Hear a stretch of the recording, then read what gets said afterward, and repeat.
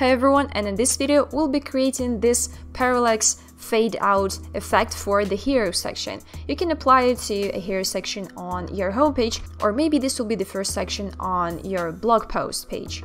So there's a number of different ways where you could utilize this effect, and it will also work with the white background color, but I chose black because it just, it just looks cooler. And with the responsivity settings, mm, it's not so great as you might have guessed, but we'll find the workaround later in this video too. By the way, this entire tutorial was originally inspired by this cool website, and I recommend you to go and have a look at it yourself. And besides this animated hero section, in this tutorial there will be a little bonus. We'll also explore how to create this kind of header transition. And you see that this header, while being on top of the hero section, is transparent, but once we scroll past the first black section, it actually gets a background, and it's slightly blurred.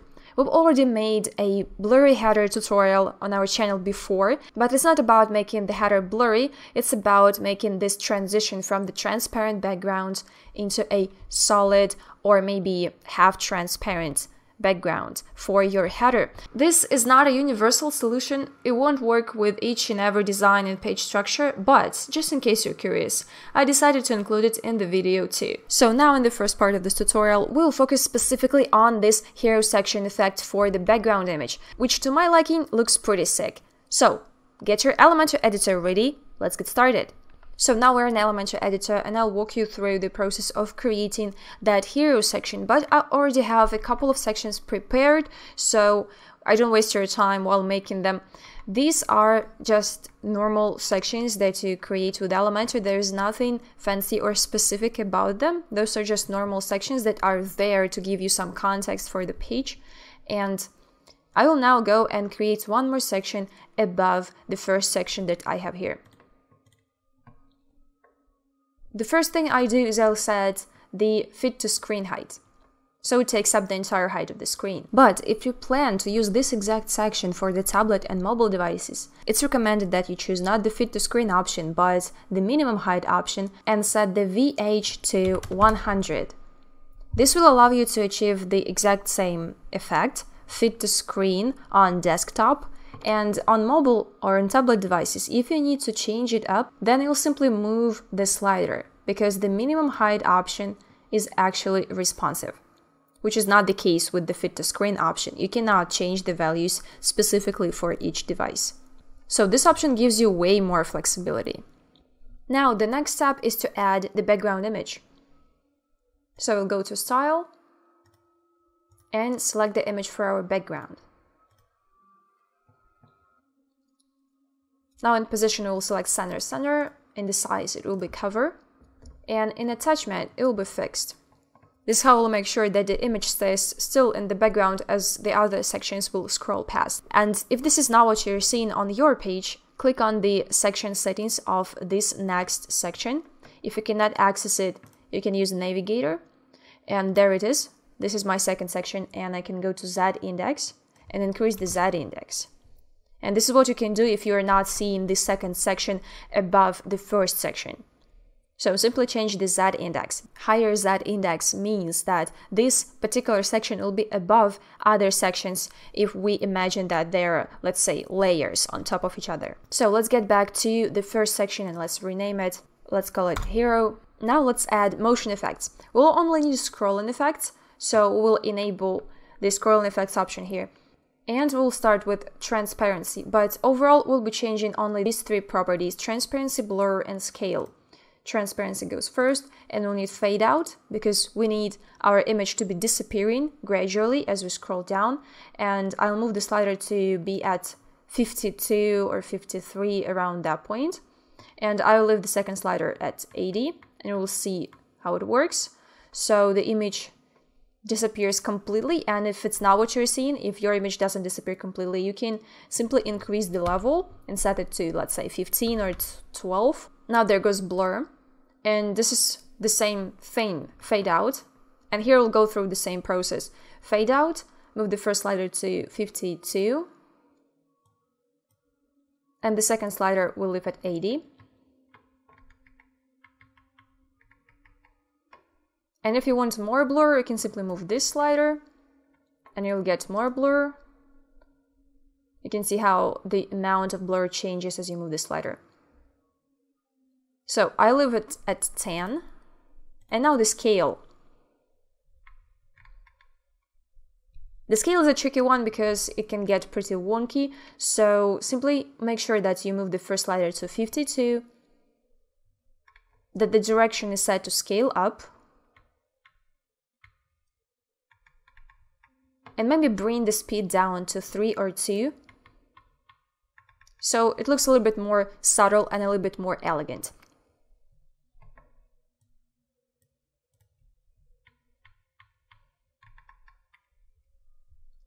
So the background image is animated, but we can see the white background of the page as we scroll down, and this is not what we want to get in the end, because the color of our section background is black here. So what we can do is go to settings, go to style, and change this color here, body color, to the same color that matches the color of our section background here and then this previous section and the next section simply become one and you don't see this transition. So it looks something like that.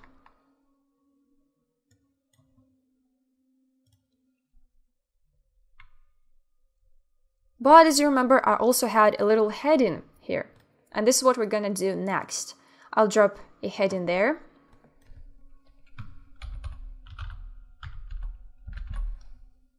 I'll add portfolio. I don't know why I picked portfolio, just some random word. Change the color and change the typography settings.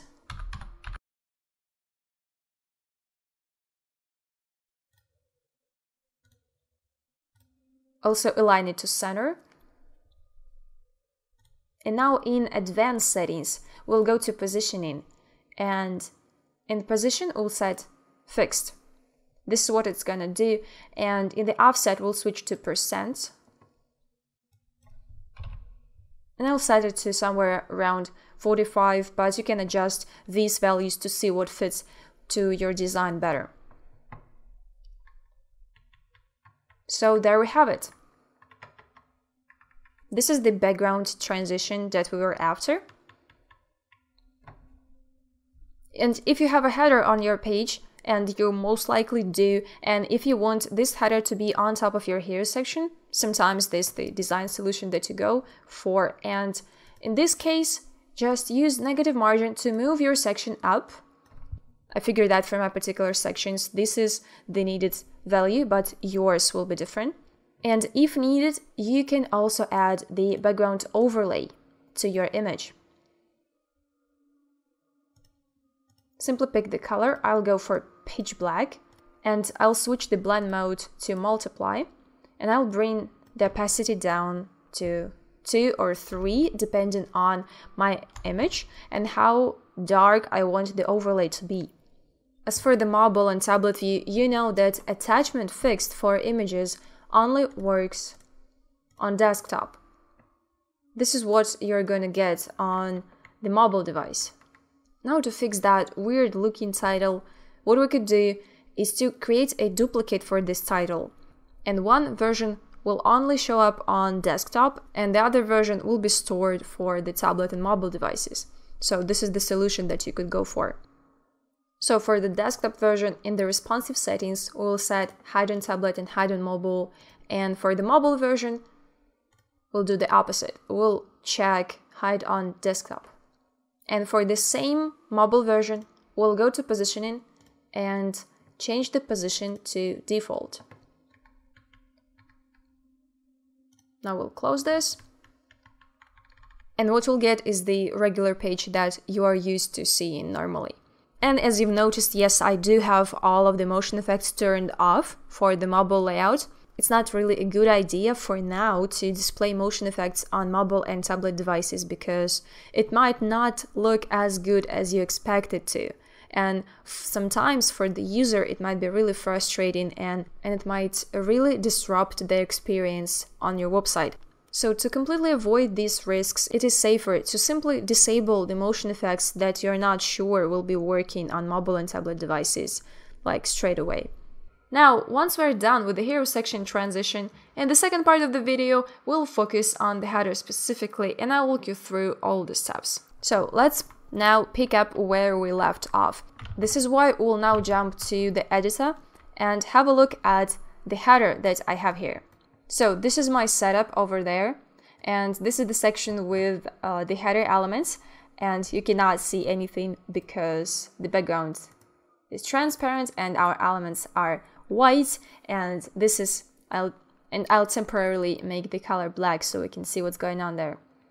So this section is for mobile view and it will only appear on mobile devices, tablets, smartphones, etc. And all you need to do here while creating your header is go to advanced and set the Z index to the highest value possible to make sure that the header in any circumstances is always above all the rest of the elements on your page. Also what you need to do is to make sure that you go to motion effects and you enable the sticky on top option and on what devices to enable and disable it you decide but I would only make it work on desktop and leave this option inactive on tablets and on mobile devices. So that's all we need to do here at this point. And in the style, I'll go and I'll remove the backgrounds and click update. Now let's have a closer look at what's going on as we scroll down. You see that the background image and the heading are both fixed. They have a fixed position. And as we scroll down, they have this fade out of the background image. And at this point, the background here becomes black. But as we scroll past this first section, we can clearly see that this transparent background on our header is really distracting and we cannot make sense of anything. What is written here, we cannot read the text, we cannot access the links. It's completely unusable and we have to change that. To do it, we will now need to create one more section. Right above this first section with black background and I'll quickly create one more section. And I'll see it appear right here in the navigator and I'll call it background for header. And having this section selected we'll go to height minimum height and we'll set it to 100 because this is the height of our header I have this section that contains these links these menu items I have it set at 100 pixels I'm using pixels here but yes, it's actually recommended to use VH or VW, but here for header I'll stick with pixels.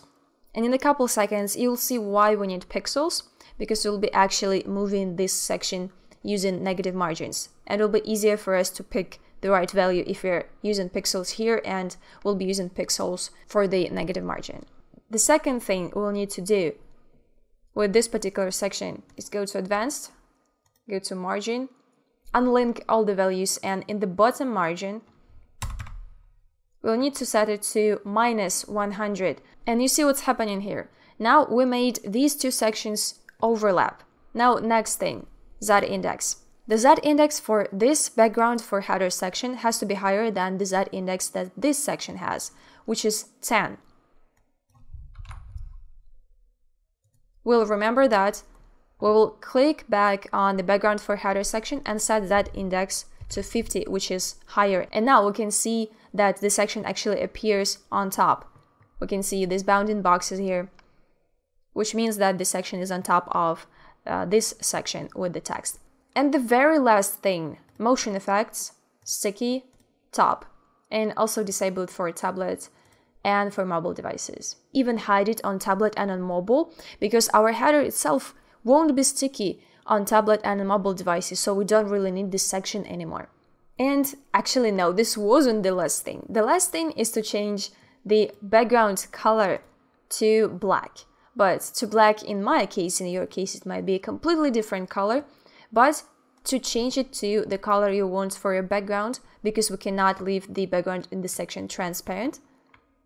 And now you can see that this section actually is sticky and at the moment as this section reaches the top of the viewport, it sticks to the top and the header does too. This is why they overlap and the header is on top of this section and they're both sticky and as we scroll down, we see what we want to see. We see the header with the background. At this point it's completely transparent and as we scroll down, it's kind of hard to make out what we're seeing because it's kind of hard to distinguish between the background of the header and the background of the page.